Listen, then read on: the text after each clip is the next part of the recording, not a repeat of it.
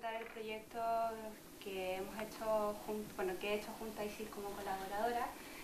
Eh, este es un proyecto que se llevó a cabo hace alrededor de dos años en la isla de Santo Antón, en Cabo Verde, y a diferencia de, como por ejemplo del proyecto que presentó, de los resultados que presentó ahora Clara, este fue más un proyecto vinculado con una fase de identificación, ¿vale? no es una evaluación de un proyecto que, que ya estaba, sino que era la fase de identificación para ver el potencial para trabajar el tema de género y turismo en esta isla. Em, lógicamente cuando comenzamos el proyecto hicimos como una especie de tormentas de ideas para, para buscar el por qué, por qué vale la pena trabajar el género y turismo, ¿no? y a través de mucha, bueno, que se ha hecho investigación hace 20 años que, el estudio de, que los estudios de género y turismo comenzaron, eh, nos dimos cuenta que, claro, que el enfoque de género turismo es uno de los enfoques de los menos solicitados y los que hasta el día de hoy muy pocas veces se integran en los proyectos vinculados con el turismo. ¿no? Y en segundo lugar, nos dimos cuenta que eh, los proyectos que existen en este ámbito la mayoría de ellos no tienen la perspectiva de, género integrada de forma real y menos aún eh, están enfocados desde la teoría feminista. ¿no? Bueno, para empezar esta fase de identificación que se hizo en la isla de Santo Antao, también eh, pusimos, debatimos un poco sobre el concepto de sostenibilidad en el turismo. ¿no? Entonces, leyendo y debatiendo entre nosotras, eh, vamos, nos dimos cuenta de que sostenibilidad Em, para mucha gente es definida de muchas formas, para mucha gente se entiende de muchas formas y hay una, una variedad en el concepto, ¿no? Entonces, por lo general en el turismo la sostenibilidad se entiende como marketing, como un nicho de mercado, como para conservar, eh, rentabilidad de recursos, modalidad turística y también ahora que está de moda el tema de la economía verde, ¿no? que lo que hace más bien es rentabilizar un recurso naturales de los sitios sin hacer ningún impacto positivo. ¿no? Entonces cuando teníamos ya este punto de partida, fuimos, quisimos contribuir hacia otras formas de otras visiones de la sostenibilidad. ¿no? Entonces la primera es superar la visión solo en parámetros medioambientales, por lo general, y ya como hay, hay, mucha investigación al respecto, la sostenibilidad en el turismo solamente se centra en la sostenibilidad medioambiental. ¿no? pero es una sostenibilidad medioambiental bastante cuestionada porque tampoco respeta los ciclos naturales. ¿no? Entonces una sostenibilidad ambiental solamente por lo general en el marco de las campañas de, responsabilidad social empresarial de muchas empresas es como si queremos ser sostenibles, pero en definitiva no respetas para nada el ciclo natural de los recursos naturales. ¿no? Eh, aparcar parámetros mercantilistas, esto es muy importante, no usar este concepto, esta visión de sostenibilidad en el marco de parámetros mercantilistas y también entender la sostenibilidad como una forma para promover las condiciones fundamentales, ¿no? que es lo que dice Marta Nussbaum, ¿no? que también ella hace reflexión al respecto sobre el, eh, qué pueden ser y hacer las personas, ¿no? que va en línea con el empoderamiento, lo que decía anteriormente Clara. ¿no? Y entender la reducción de la pobreza como un resultado de desarrollo y no como un reemplazo del mismo. ¿no? en el turismo en, los trabajos sostenibles en, el marco del turismo el desarrollo se ha reemplazado por la reducción de la pobreza, ¿no? pero una reducción de la pobreza muy vinculada a generemos ingresos y no nos importa cómo se distribuye y cómo se gestiona este ingreso. Entonces se dejan eh, muchos ámbitos importantes dentro de, la sostenibilidad, se dejan, se aparcan y no se, no se reflexiona sobre estos aspectos. ¿no? Y también, y por último, incluir parámetros sociales que incluyan un análisis diferenciado de las necesidades y deseos de mujeres y hombres, ¿no? Y aquí viene el tema de, género, ¿no? Entonces, em,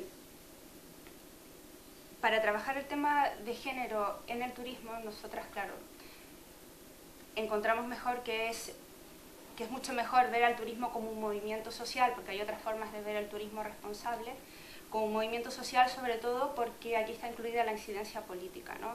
Y en los trabajos desde la perspectiva feminista y los trabajos que tienen la perspectiva de género integrada de forma real, la incidencia política es, es lo más importante, ¿no?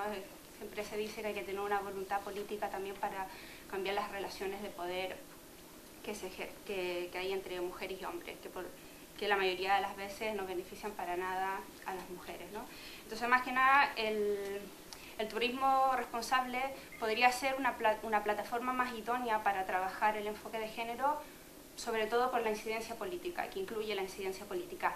Hay otras organizaciones que trabajan el turismo responsable, pero más vinculada con el tema de la certificación, de, de las líneas de responsabilidad social empresarial, pero por ningún motivo incluyen la incidencia política dentro de su política de actuación.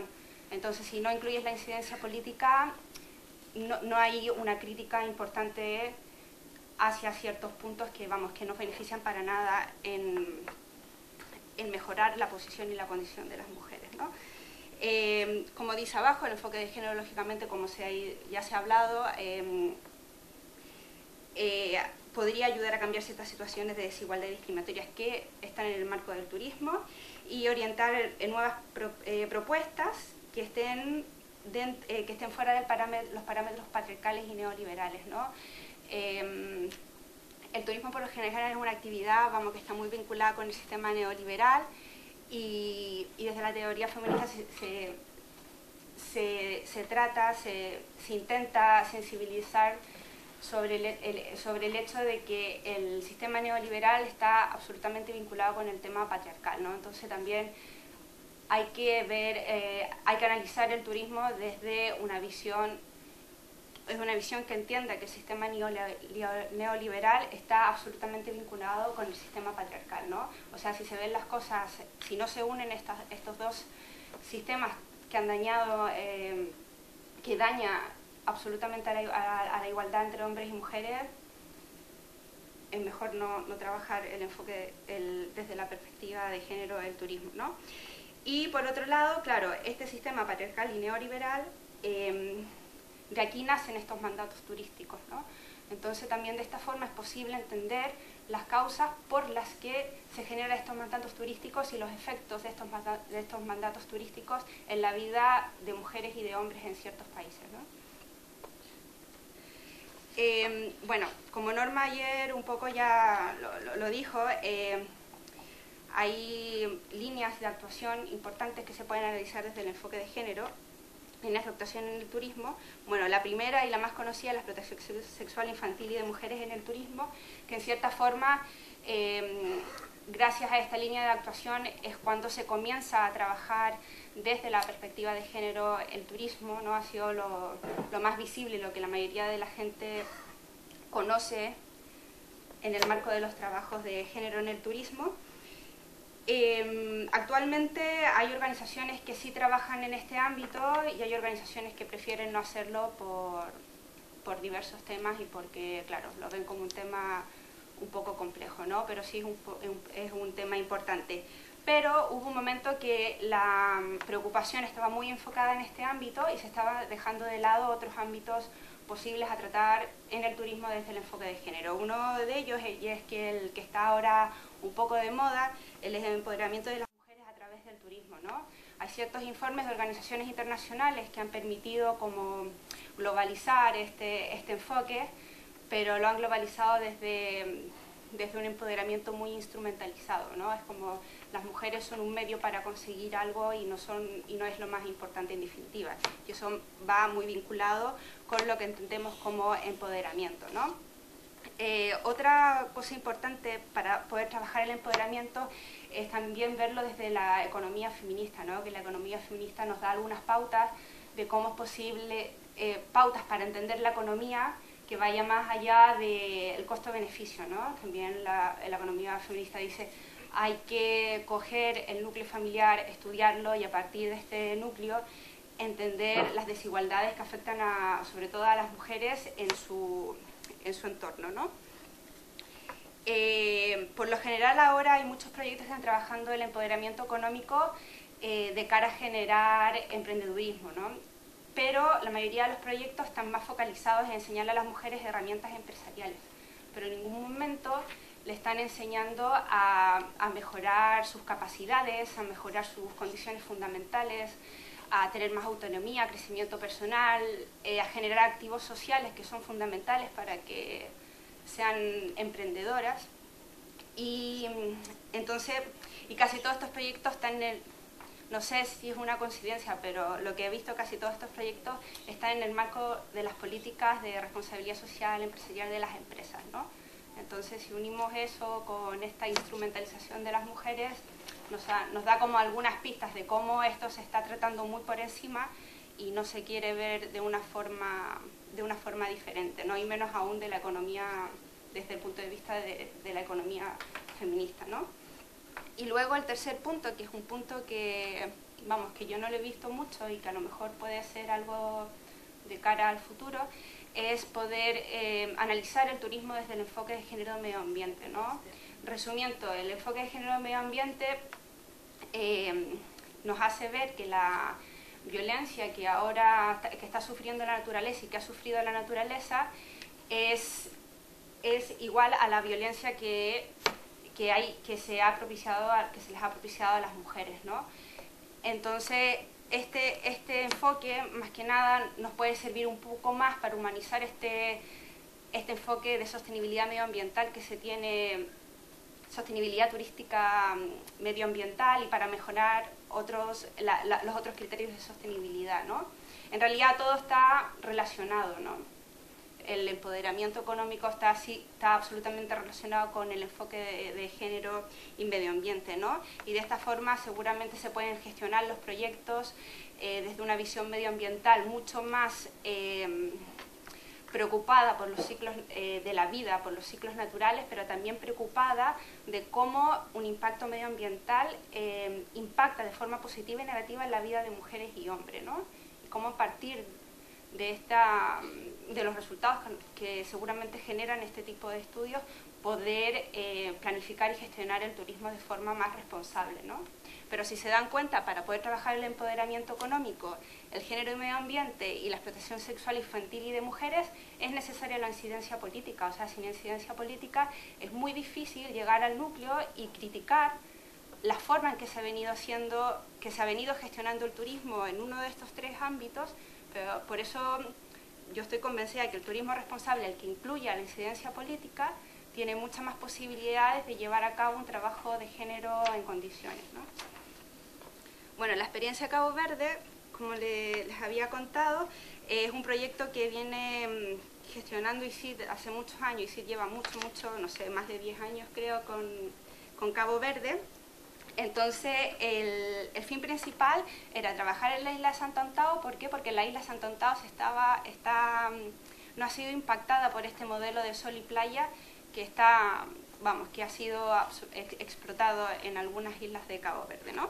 Voy a ir un poco más rápido porque el proyecto se llama Turismo Sostenible y Desarrollo Local en la isla de Santo Antao su objetivo principal era fortalecer las capacidades económicas, sociales y organizativas locales y para ello em, eh, bueno, el, grupo de ICID se dio cuenta que sí, que era necesario ir a la isla de Santo Antao a hacer un diagnóstico sensible al género, por eso les digo que este es un proyecto más vinculado con una fase de identificación desde la perspectiva de género.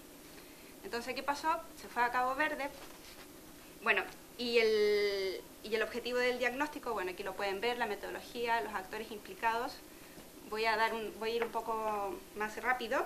Y los actores implicados, quiero aquí pararme, que fue muy interesante. Em, lógicamente se, se llevaban entrevistas, se llevaba una idea de lo que sí iba a ser, pero el trabajo tuvo un impacto positivo, como que se expandió y finalmente los actores implicados no solamente fue la población local, sino también fueron instituciones como ONU Mujer, el, Ministerio de Turismo, que tuve la oportunidad de hacerle la entrevista al, ministro de Turismo, em, al Instituto de Igualdad de Género, a la Organización de Mujeres Caboverdianas, que en ese minuto estaban llevando a cabo un trabajo para generar presupuestos sensibles al género. Entonces también eh, uní la información que ellas estaban generando con este trabajo, con este diagnóstico. Eh, bueno, las preguntas claves del diagnóstico fueron las tres que pueden ver en, la, en, slides y las herramientas de análisis del diagnóstico eh, fueron entrevistas, fue un taller sobre uso y gestión de los recursos y taller sobre la división sexual del trabajo. El taller sobre uso y gestión de los recursos fue interesante porque em, identificaron en la isla Santo Antao, fue un taller mixto, eh, identificaron por un lado las mujeres eh, los recursos que ellas consideran que son importantes desde un punto de vista turístico, ¿vale? Pero también, por otro lado, son recursos que con los que ellas conviven diariamente. Y los hombres hicieron lo mismo. Entonces, lógicamente, los recursos que identificaron mujeres y que identificaron los hombres fueron absolutamente diferentes. Eh, esto no es un recurso, pero es algo que sí manifestaron las mujeres, que para ellas es muy importante eh, fortalecer, así me lo dijeron, fortalecer la paz y la seguridad, ¿no? Que a ellas les preocupaba mucho fortalecer este ámbito si, si llega el turismo a la isla de Santo Antao, sobre todo si llega el modelo turístico de sol y playa, para ellas eso era muy importante, ¿no?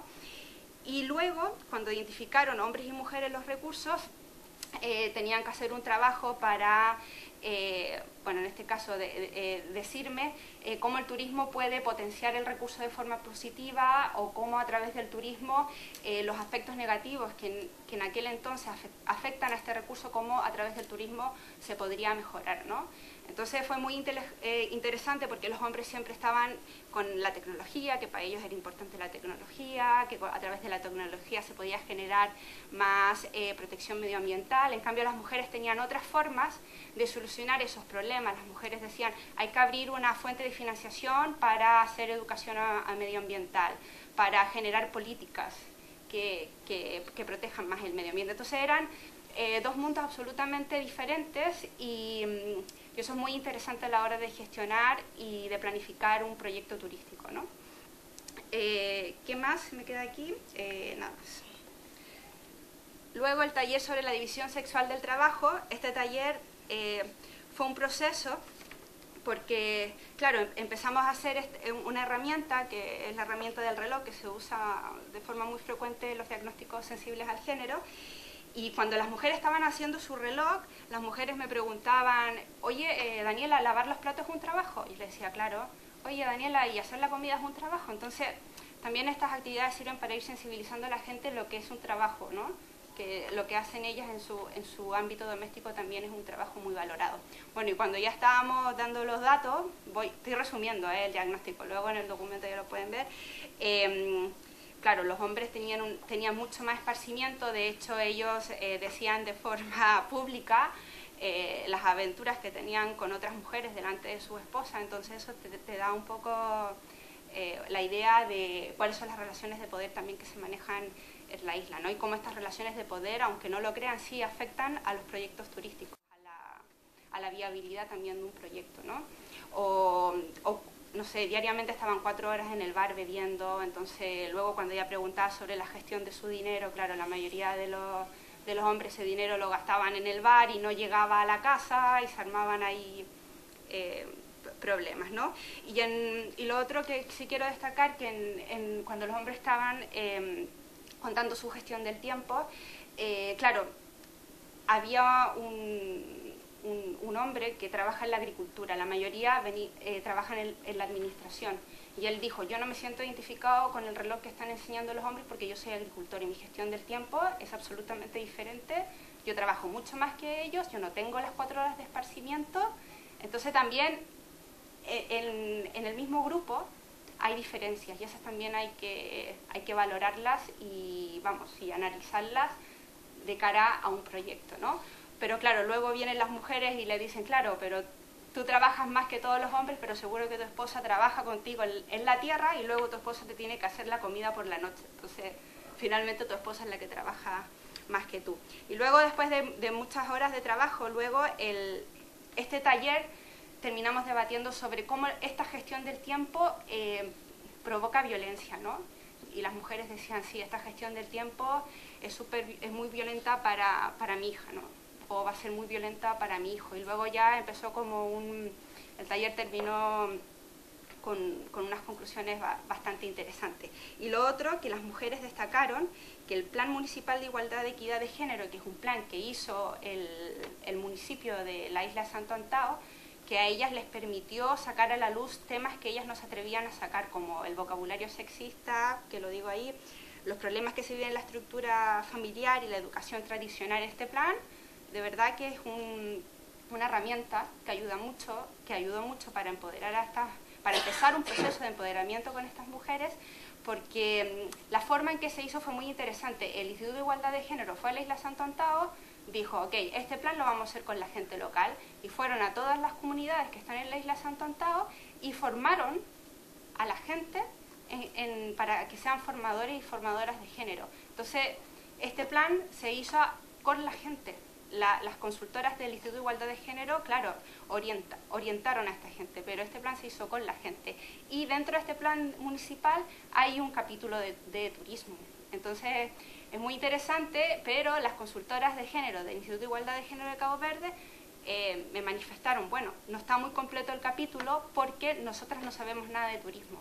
Entonces también, para trabajar el tema de género y turismo, claro, se tiene que saber tanto de un tema como también del otro o formar a la gente de turismo en género y a la gente de, género en turismo, ¿no?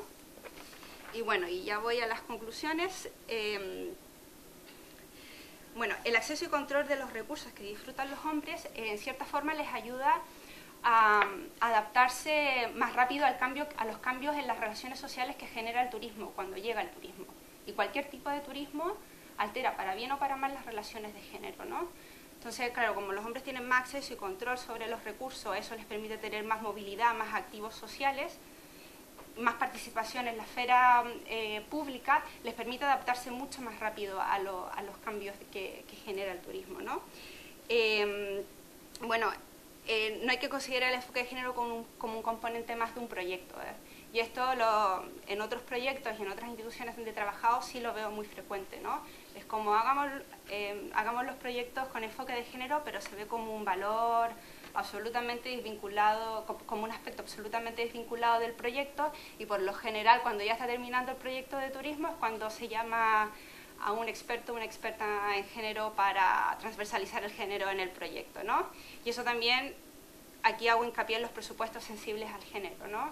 Es muy importante tener presupuestos sensibles al género para generar un proyecto turístico, incluso si se quiere fomentar el emprendedurismo de las mujeres, no solamente se hace esto dándoles dinero a las mujeres, sino que ese dinero que se les da tiene que considerar el enfoque de género. O si no, aunque las mujeres tengan microcréditos, si estos microcréditos no tienen el componente de género, seguramente no se van a tener los resultados que, que se quieren, ¿no? Y, esto, y esto también eh, la Organización de Mujeres Caboverdianas estaba trabajando en eso, porque es una organización que les da microcrédito a las mujeres, pero a pesar que ese microcrédito vaya a las mujeres, no está manteniendo los resultados que se esperaban. Entonces dijeron, bueno, estos presupuestos sí los tendremos que ser sensibles al género y que el presupuesto tome en consideración las ventajas y desventajas que tienen estas emprendedoras en su contexto. ¿no? Eh, bueno, y generar espacios de reflexión sobre la situación actual en términos sociales, económicos y políticos. Y por último, eh, establecer el empoderamiento como una forma, bueno, no establecer el empoderamiento como una forma de instrumentalizar a la mujer, ¿no? Lo que ya les había dicho al principio.